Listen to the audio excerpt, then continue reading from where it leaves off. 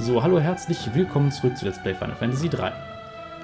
Wir sind hier gerade an einem Ort, den ich abgrundtief hasse, der Kristallturm.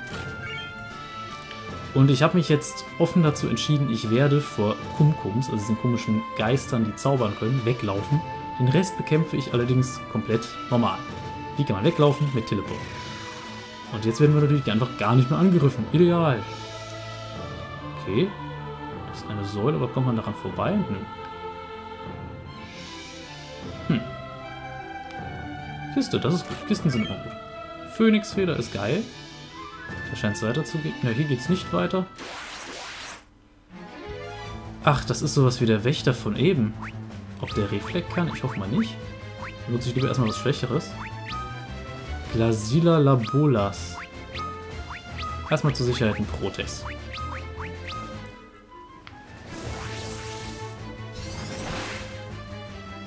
Reizen klappt natürlich nicht. Aber ein Schattenflair, das ist geil. Aua. Dass er zweimal zuhauen darf, ist blöd. Der hat Konfus da drauf.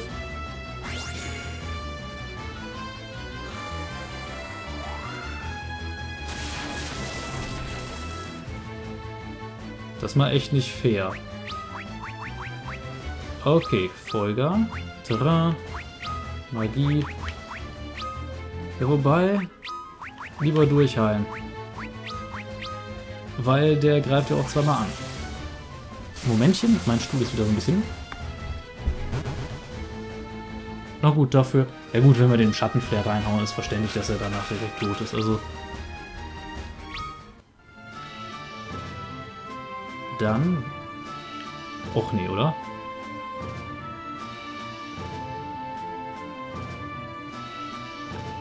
Verdammt, wo geht's denn bitte lang? Ja klar, die schon wieder.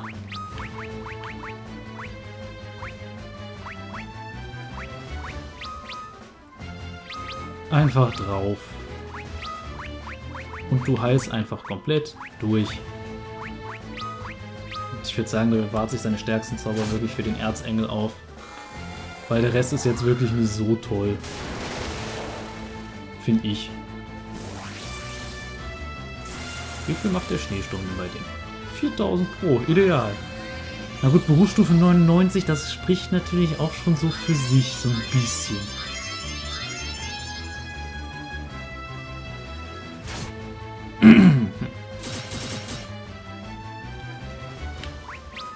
Okay, komm, was hast du denn sonst noch Heftiges? Komm, ist noch ein Bio. Greifst die Gegner mal gesund an. Ja, die Lüge Bio. Ähm Vor allem ist es sehr lustig, dass äh, Bio nur heißt, der Bauer selber darf nichts derartiges auf Feld aufbringen. Das heißt, wenn da zufällig das von außen eingetragen wird, zum Beispiel durch einen Nicht-Bio-Bauern, der ein Feld am Berg äh, etwas höher hat, das ist dann immer noch Bio.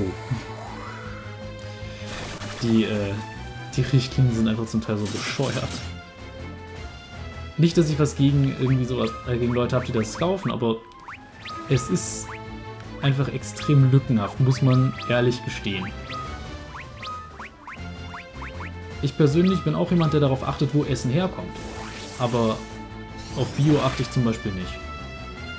Ich achte bei Fleisch zum Beispiel darauf, dass das jetzt nicht unbedingt eine Massentierhaltung war. Das heißt, da gebe ich äh, dann auch ein bisschen mehr für aus, aber es ist halt dafür auch besser, das merkt man wirklich. Und es ist halt, man sollte auch einfach mehr, weniger davon essen, aber ich denke, jeder von euch hat das auch schon tausendmal gehört. Ah, hier geht's lang. Wunderbar. Ein Hinterhalt ist ja klar, genau.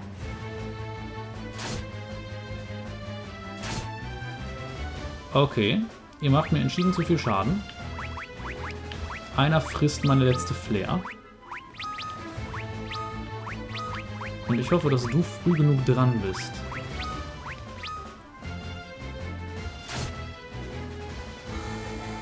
So, Flair.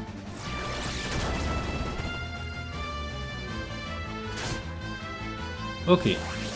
Da würde ich sagen, bisher gar nicht so schlecht.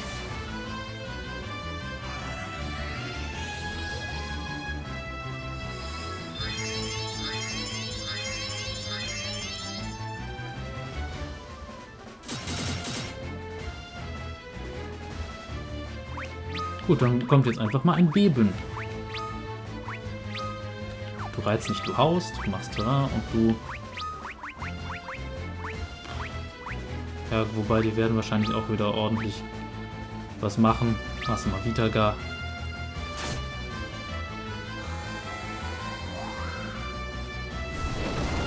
Verreck doch einfach, bitte.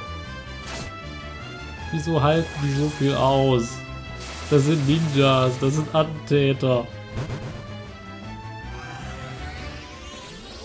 Ich meine, Shinobi ist ja kein anderes, ist ja nur ein anderes Wort für sowas.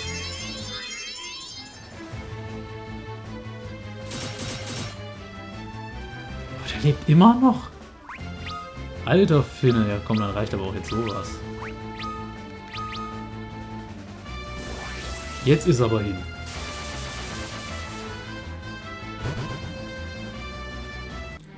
So. Hochstufe von Refi. Wie kann die denn noch höher starten? Ach nee, ich glaube, das ist... Ja stimmt, wir sind ja gestorben. Ist die jetzt zufällig wieder 99? Ja. Luneth ist blind und vergiftet. Jetzt hier lang? Wieder nirgendwo hin. Wie weit muss man in diesem Turm eigentlich laufen? Warte, ist dann... Ah, wunderbar, wir können doch noch. Poisona. Komm, Vita hat er sich verdient. Wir sind lieb. Okay, es geht weiter. Wo wir überall durchlaufen müssen hier. Den Architekten würde ich umbringen, wenn ich in diesem Turm leben würde. Phönixfeder, ideal. Elixier, noch idealer. Ist hier oben wieder eine Kiste? Nochmal zwei von denen. Leute, langsam geht ihr mir so ein bisschen auf den Geist. Ich könnte natürlich auch mal versuchen, einen zu versteinern.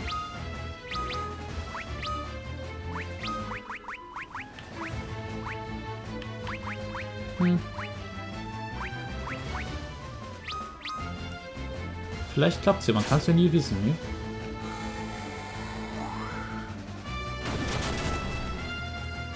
Nee, klappt natürlich nicht. Aber ist auch, glaube ich, etwas unwahrscheinlicher.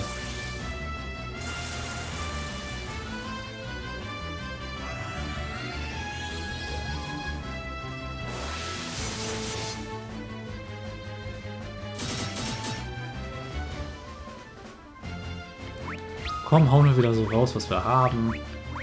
Blitzka, Reizen, also er reizt diesmal einfach zur Sicherheit. Und du machst Eroga. Eroga, das ist sowas ähnliches wie Aerobic. Warum bin ich jetzt auf so ein bescheuertes Vorspiel gekommen? Ich sollte mit sowas echt aufhören.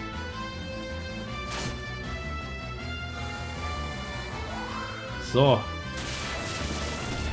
Ich frage mich ja, wo der in diesem Turm eigentlich den Blitz vom Himmel herkommen lässt.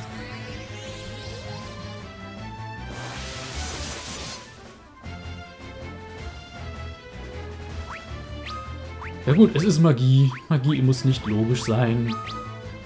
Zumindest nicht in Spielen. Na gut, Magie kommt auch sonst eher selten vor.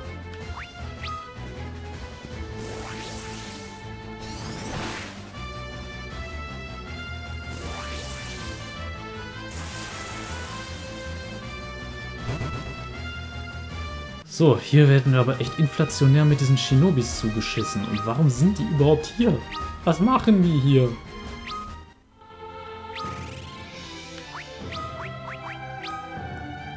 Poisona auf sich selbst. Haben wir eigentlich Items, die blind aufheben?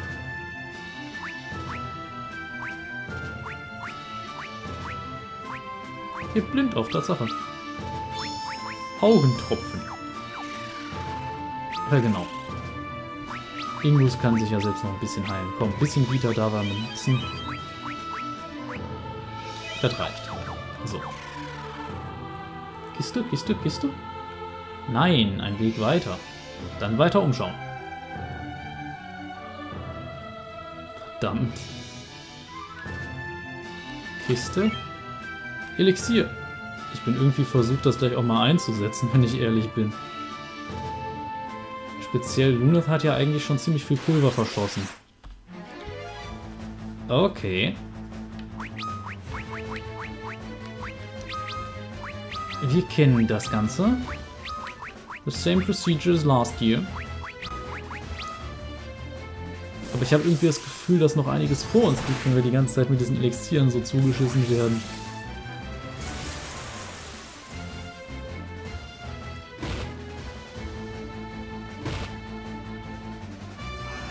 Ein Protest, der hätte ruhig etwas früher kommen können, aber egal. Und jetzt wird angezündet.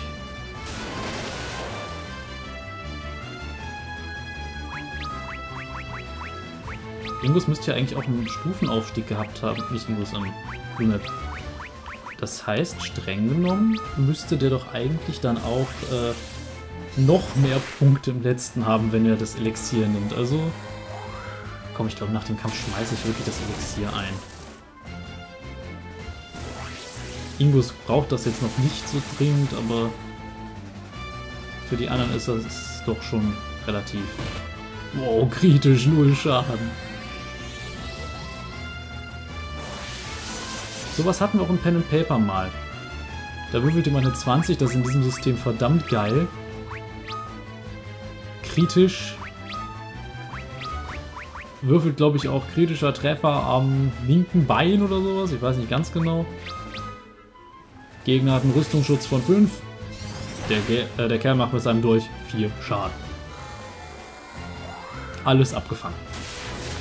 Der war etwas deprimiert. Ja gut, hätte er ein Schwert gehabt, also oder sonst irgendwas mit der Klinge, was größer ist und hätte genug Schaden gemacht, hätte ihm vielleicht das Bein getrennt. Das wäre schon so ein bisschen schnieke gewesen, aber nein. Manchmal hat man einfach kein Glück. So, Berufsstufe gestiegen. Yay. Dann schmeißt du jetzt erst recht das Elixier ein. Dann elf davon, bitte. Komm, Inus auch. So. Ne, vier im letzten immer noch. Aber ansonsten ja, man kann echt nicht meckern über die Menge an Zaubern, die der hat. Ist das jetzt schon... Weiter umgucken, weiter umgucken. Hier geht's nicht lang, okay. Ist auf der anderen Seite vielleicht eine Kiste?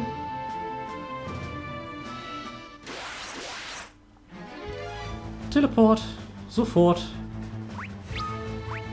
Äh, der Rest macht sonst was. Teleport.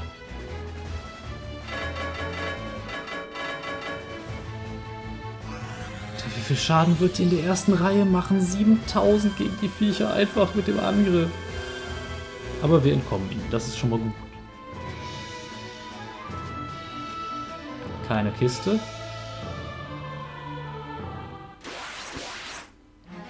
Nochmal. Wohl verteidigen, warum nicht?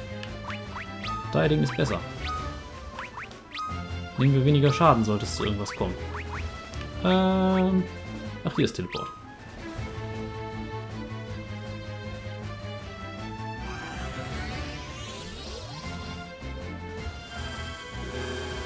So. Aus manchen Kämpfen möchte ich einfach flüchten. Und ich würde sagen, bevor wir durch diese Tür gehen, kriegt Ark noch ein Vita um wieder ganz voll zu sein. Und wir gehen mal durch. So langsam. Hm. Wir sind immer noch nicht da. Hier geht's durch, okay. Komm, gehen wir mal durch.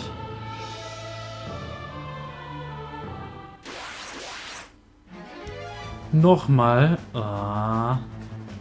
Verteidigen, verteidigen, verteidigen. Teleportieren.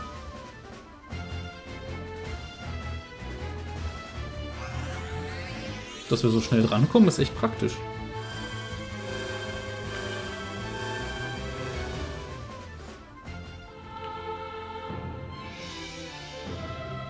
Sieht so aus, als ging es hier weiter.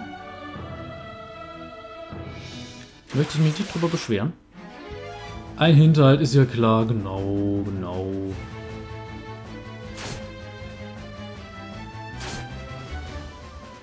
Gut. Dann kriegt der Arsch einen Flair. Du reizt, du machst Terrain und du heilst einmal so kräftig durch, wie du nur kannst.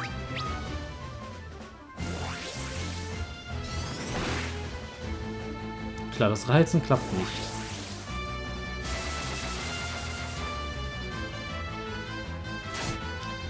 Aua. Natürlich, natürlich. Ja gut, wozu habe ich Erzengel?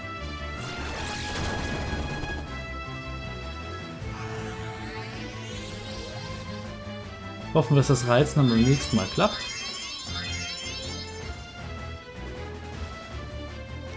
Komm, du benutzt noch einen Flair. Das ist bei diesem Gegner explizit erlaubt. Erzengel. Wie das wohl aussieht. Haben wir auch noch nicht gesehen, also...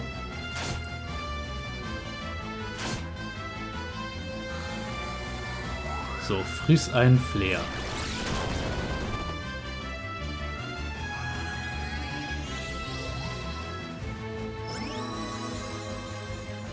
Sieht auf jeden Fall hübsch aus. Ähm, ja gut, jetzt wird Flair hoffentlich nicht mehr nötig sein. Du machst mal Saugen, würde ich sagen. Du reizt wieder, du machst Terrain. Und du heilst mal mit einem Vitra ihn. Hoffen wir, dass es dieses Mal klappt. Ja, es klappt. Wunderbar. Das heißt, dieses Mal hat ja auch letztes Mal geklappt. So. Gleich dürfte der Kerl hin sein. Mit Saugen ist eigentlich nicht nötig, weil er kein... Le äh, hat ja gar keinen Schaden. Hm. Egal, macht deutlich mehr Schaden. So. Und wie ich hier gerade auf der Uhr sehe, werde ich dann wohl doch lieber mal einen Schnitt machen. Ich hoffe, ihr habt Spaß am Let's Play. Lasst konstruktive Kritik, vielleicht ein Däumchen da, wenn es euch gefallen hat. Und dann bis zum nächsten Mal. Cheerio!